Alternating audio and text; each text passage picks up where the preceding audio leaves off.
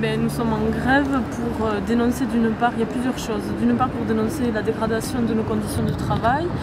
Donc euh, nous travaillons tous les jours avec un quota d'heures supplémentaires qui ne sont pas payés, pas récupérés. Euh, nous avons des conditions de travail qui se dégradent un peu plus tous les jours. Donc nous, on, voulait tirer la sonnette d'alarme déjà dans un premier temps pour, pour un petit peu dire que on avait du mal vraiment à assurer la qualité des soins euh, pour le patient, d'une part. Et le deuxième point, un petit peu qui a fait, ça a été la goutte d'eau qui fait déborder le vase, c'est le fameux déménagement sur un autre pavillon dans le cadre du projet de l'hôpital. Et euh, puisqu'on voulait nous faire déménager à l'origine dans des locaux qui avaient été euh, rénovés, mais suffisamment. Il y a eu beaucoup de couacs au niveau de la rénovation et finalement, nous n'avons été jamais sollicités euh, pour euh, un petit peu aller voir concrètement comment ça allait se passer dans ce nouveau service.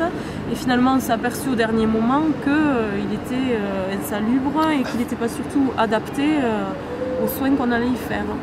Vous faites quoi comme soins en médecine interne, on fait quand même des soins, on a des pathologies un petit peu exotiques, donc on a des soins techniques avec des chimiothérapies, beaucoup de gens en aplasie, donc qui sont en chambre stérile, donc des soins tous les jours euh, qui doivent être faits dans le, dans le respect d'une hygiène très stricte. D'accord. Et le mouvement de grève, c'est très suivi C'est tout le, c'est tout le, tout le service ou c'est... Euh c'est les infirmières et les aides-soignantes du service, plus les médecins qui nous soutiennent. D'accord, c'est bien. le, mouvement était bien suivi et on a été assez solidaires, je crois, tout le monde qui est. Vous avez une réunion hier, ça a donné quoi? Pour les travaux, on nous a à peu près répondu qu'ils allaient les faire sur un délai qu'on ne connaît pas par contre. Mais après, pour les effectifs, voire pour des effectifs en plus pour qu'on puisse assurer une bonne qualité des soins, là-dessus, on ne répond toujours pas. Euh. On nous, répond, on nous répond que la direction reconnaît que notre effectif est insuffisant en rapport à la charge de travail et euh, du service. Ils reconnaissent tout à fait que effectivement l'effectif est trop juste. Euh, pour autant, nous n'aurons pas l'effectif débloqué supplémentaire. C'est textuellement ce que nous a répondu. D'accord. Vous savez qu'ils ont une obligation de sécurité de la santé. Il y a eu des accidents de travail ou des maladies professionnelles, des absences En fait, on est sur. Euh, la dotation est trop grande par rapport au pôle. Mais alors là, on parle du pôle, donc de plusieurs services. Mais nous, pour notre service, on est quand même en difficulté. mais nous n'aurons pas les postes. Donc voilà.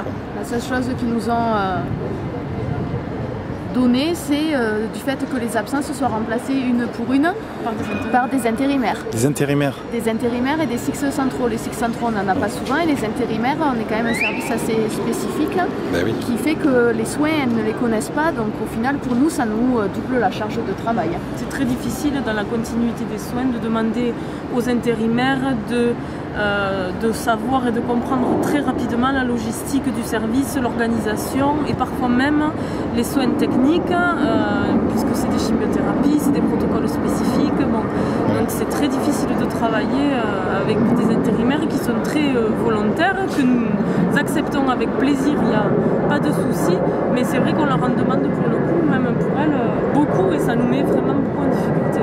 Et pas en sécurité, du coup, on travaille plus en sécurité. Mais ça fait quoi euh, de ne pas travailler comme vous voudriez travailler Tous les jours, ça fait quoi? Ça fait des, des, soignants en souffrance qui sont frustrés, qui ont l'impression que euh, jamais leur travail, on nous dit jamais finalement que le travail qui est fait est, de qualité. Euh, voilà, on a l'impression de ne pas être reconnu de pas être reconnu et puis on en souffre nous et puis c'est vrai que dans le rapport avec le patient et surtout nous on a quand même des patients chroniques euh, qui viennent là tous les mois.